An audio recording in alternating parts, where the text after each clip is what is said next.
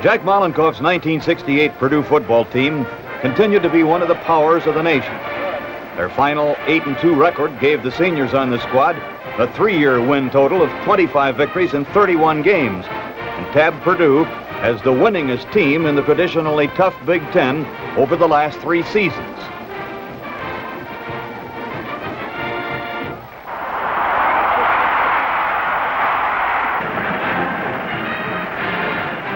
And the Notre Dame Irish met in South Bend, Indiana, in the Pole Bowl battle of 1968. Notre Dame won the toss and elected to receive, but the Boilermakers scored first on a 34-yard field goal by Jeff Jones. Notre Dame scored a touchdown and then kicked off to the Boilermakers' Jimmy Kirkpatrick on his own five-yard line.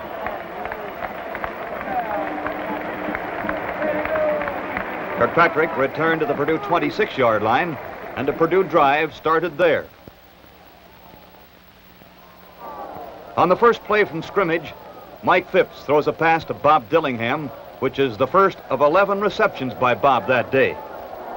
With first and 10 on the Purdue 37-yard line, Phipps hits Dillingham again.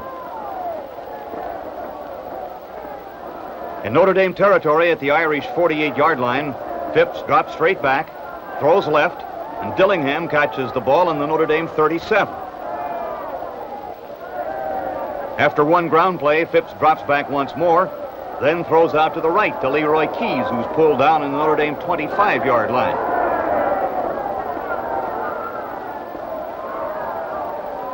Again, Phipps looks for a receiver, but this time elects to run. He's finally stopped inside the Notre Dame 20-yard line at the 18. Williams picked up two yards, then Keyes takes a handoff from Phipps and sweeps left end for the Purdue touchdown that gives the Boilermakers the lead 10 to 7. Still in the second quarter, Terry Hanratty drops back to throw for the Irish. Billy McCoy tips the pass, and Bob Unaska picks it off for Purdue. He runs down the sideline and is stopped at the Notre Dame 30-yard line. With first and 10 on the 30, Phipps drops back beyond his own 40-yard line and hits Jimmy Kirkpatrick, who's brought down at the Notre Dame 21-yard line.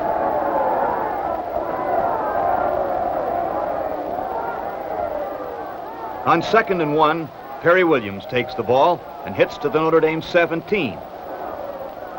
With a first and 10 on the Notre Dame 17-yard line, Leroy Keyes starts to sweep left, then passes into the corner of the end zone where Bob Dillingham hauls it in for another Purdue score.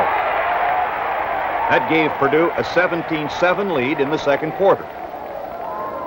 Following the Purdue kickoff, Terry Hanratty hands off to Bob Gladieux. The ball is punched away, and Gladieux's fumbles recovered by Bill Yanchar of Purdue on the Notre Dame 41-yard line. Once more, Phipps drops back on first and 10 and throws a long pass to Dillingham inside the Notre Dame 20. With first down on the Irish 16-yard line, Phipps spots Dillingham again, this time out to the right, and hits him for a touchdown for the Boilermakers. Now the score is Purdue 23, Notre Dame 7. Late in the third quarter, with Purdue leading in the ball game by a 23-14 count, Phipps again takes to the air. This time his pass out from the right flat's complete to Perry Williams. Perry, with a strong second effort, carries inside the Notre Dame 30. Three plays later, Phipps drops back, spots Keyes open up the middle, and hits him for a first down on the Notre Dame 18-yard line. On the next play, which was the first play in the fourth quarter, Keyes cuts inside left end and goes 18 yards for another Purdue touchdown that makes the score 30 for Purdue, 14 for Notre Dame. Trying desperately to get the Irish back into the ball game, Hanratty once more drops back to pass. This time, senior halfback John O'Reilly intercepts for the Boilermakers at the Notre Dame 31-yard line. On first and 10, Keyes again cuts over left tackle, reverses his field, and is pulled down at the Notre Dame 18-yard line.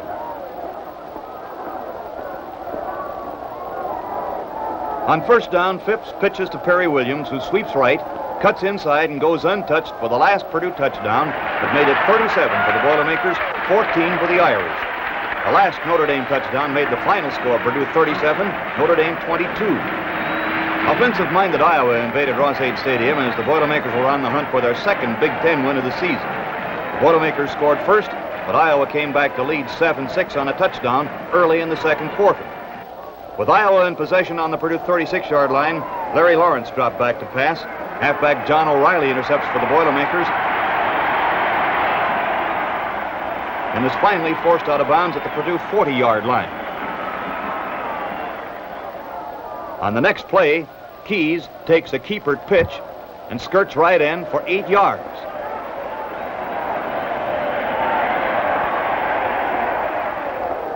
Three plays later, Kiepert again pitches to Keyes, who cuts inside right end, finds daylight, and goes all the way down the sidelines for a 51-yard touchdown run. This score gave Purdue the lead over the Hawkeyes, 12 to 7. Once more, Lawrence drops back to pass and is pressed by Kyle into fumbling the ball. Alex Davis finally corrals the ball for Purdue on the Iowa 43-yard line. With first down at the Iowa 43, Kiepert gives the ball to Keyes, who cuts to the outside and gets to the Iowa 34-yard line before being brought down. Purdue chalked up two more first downs. Then with third and six on the Iowa 15, Kiepert hands off to Perry Williams, who goes over left tackle and is knocked down at the Iowa one-yard line. With first down at the one, Kiepert sneaks for the touchdown that puts the Boilermakers ahead, 18 to 7. Trying for two points after touchdown, Kiepert pitches back to Keyes, who hunts a receiver in the end zone and hits Marion Griffin for the two points that brings the halftime score to 20 to 7. In the third quarter, with second and five, Perry Williams picks up seven yards and a first down for Purdue on the Boilermaker 20. On first and 10, Kiepert hands off to Jim Kirkpatrick, who gains seven yards to the Purdue 27. After another first down, Williams again carries over right tackle for eight. Three plays later, Leroy Keyes cuts inside left end and picks up seven more yards for the Boilermakers to the Iowa 36-yard line. The Boilermakers stayed on the ground for another first down, and with first and 10 at the Iowa 24, Keyes cuts inside left end and goes to the Iowa 11-yard line. On fourth down, Leroy once more cuts inside left end for another Boilermakers score that moves the tally to Purdue 26, Iowa 7. Following this touchdown, Purdue's defense forced an Iowa punt, and the Boilermakers advanced the ball to the Iowa 27-yard line. Then Keyes cuts inside left end and runs to the Iowa 13-yard line. Kiepert hands the ball to Jimmy Kirkpatrick on the first down situation, and Jimmy K slants right to the Iowa 6. On the second and three, Kiepert pitches to Keyes, who hits inside left end again to the Iowa two-yard line. On the next play, Kiepert pitches to Kirkpatrick, who cuts right and slips inside for another Purdue score, making it 32 to 7 in favor of Purdue. In the fourth quarter, on a third down situation, Larry Lawrence drops back to pass. Don Webster's tackle knocks the ball loose. Chuck Kyle picks it out of the air and returns to the Iowa 32-yard line.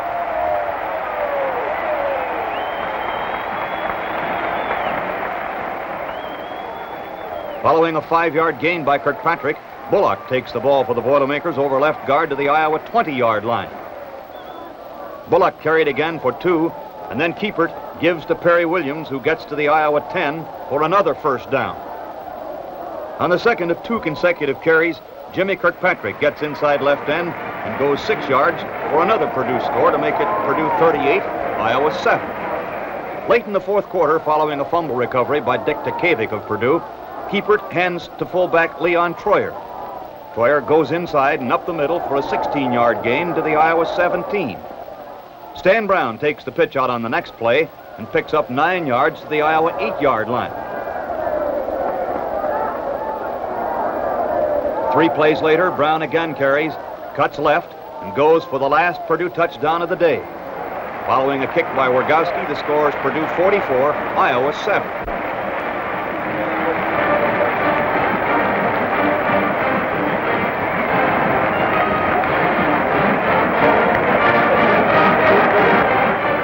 Won the toss for the Illinois game and elected to receive. Following the kickoff return by Kirkpatrick and two ground plays by Leroy Keyes, the Boilermakers on third down call on Keyes. Leroy goes over right tackle for nine yards and a first down at the Purdue 41. Two plays later, with third and five, Jim Kirkpatrick on an inside reverse cuts outside, goes up the east sideline, and carries to the Illinois 35 yard line. With an ensuing first down on the Illinois 24 yard line, Perry Williams cracks over right guard for seven yards to the Illinois 17. On second and three, Kirkpatrick gets outside right end, rams his way for a first down to the Illinois four yard line. On second and one, Williams hits in for the score that gives Purdue the quick lead, seven to nothing. The start of the second quarter with Purdue leading 7 to 3, Keyes scoots inside left end and goes all the way to the Illinois 11-yard line before being forced out of bounds.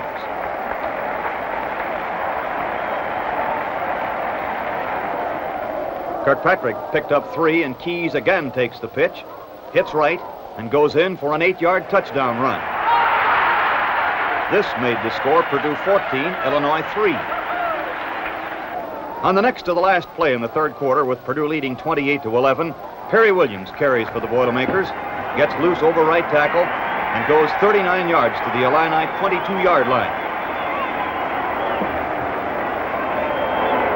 Two plays later in the fourth quarter, Perry again finds a hole over right tackle and goes to the Illinois eight-yard line. With a first down for the Boilermakers, Kiepert pitches to Keyes, who cuts inside end and is forced out of bounds on the Illinois one. Kiepert sneaks for the score that brings the total to 35 for Purdue and 11 for Illinois.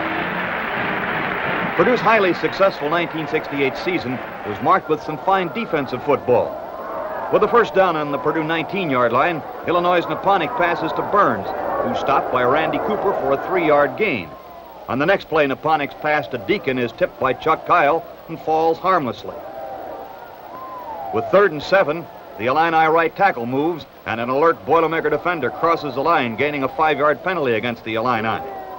With third and 12 at their own 21-yard line, Naponic passes to Burns again on the Purdue 11-yard line.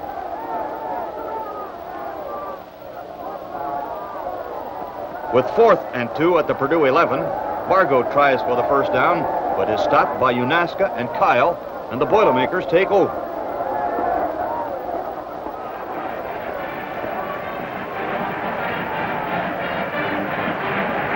In the old Oaken bucket game against Indiana University, the Boilermakers sought to avenge last year's loss. Indiana jumped into a quick lead, but a Hoosier fumble was recovered by Don Webster on the Purdue 31-yard line.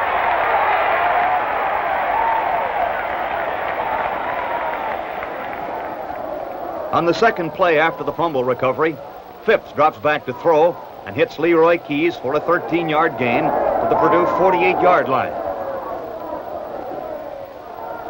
After a pass interference call against Indiana, Keyes takes the pitch, cuts wide right, and scampers 41 yards down the sideline for a Purdue touchdown that ties the game at 7 to 7. With Purdue trailing 28 to 10 in the third quarter, Perry Williams slants outside right tackle and is finally forced out of bounds on the Purdue 37-yard line. Six plays later on third down with 12 yards to go, Mike Phipps drops back, throws a long bomb to Leroy Keyes. Keyes makes the catch at the 12 and is finally pulled down on the Indiana 6. With second and two on the Indiana two, Perry Williams cracks in over left guard for the touchdown that makes the score Indiana 28, Purdue 17. In the fourth quarter, with first down on their own 32-yard line, The Boilermakers' Mike Phipps throws a pass to Bob Dillingham, who's knocked out of bounds at the Indiana 38-yard line. Two plays later, Phipps again throws a pass, this time to Mike Engelbrecht. Mike gains 21 yards to the IU 16.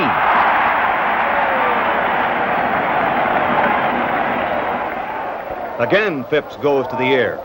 This time his target is Bob Dillingham, who is stopped at the IU 3.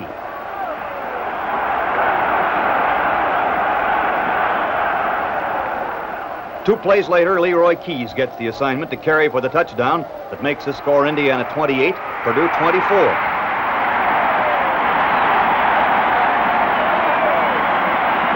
After an Indiana touchdown that made the score 35 to 24 in favor of the Hoosiers, and with the ball on the Purdue 44-yard line, Phipps drops back, is chased wide right, and throws a running 60-yard pass to Leroy Keyes for another Purdue touchdown that brought the Boilermakers within striking distance.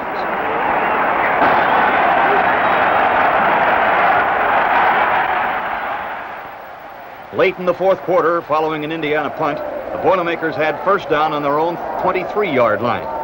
Phipps drops back and fires a pass to Dillingham at the Purdue 36-yard line. On the next play, Phipps throws right to Leroy Keyes, who carries for a 14-yard gain.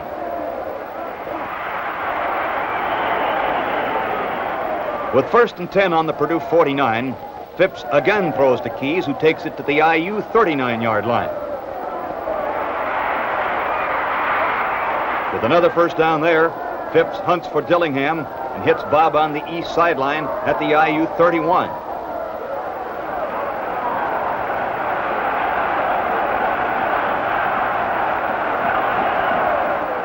Three plays later, Phipps spots Greg Fenner open in the middle and passes to him for a first down that carries to the IU one-yard line.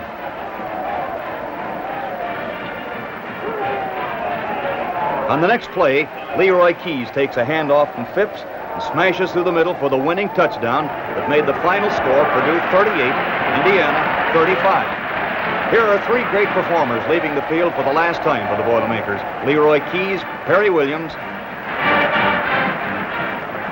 and Bob Dillingham. The victory bell signals another Purdue link on the old Oaken bucket chain and rings the end to an excellent 8 and 2 season for Purdue's football team.